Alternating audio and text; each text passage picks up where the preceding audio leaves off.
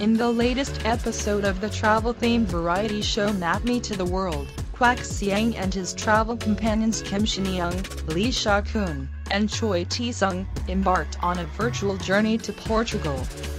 While discussing Praia da Falésia beach in Portugal, renowned for its stunning sunset views, Kwak Siyang's admiration for the scenery became apparent.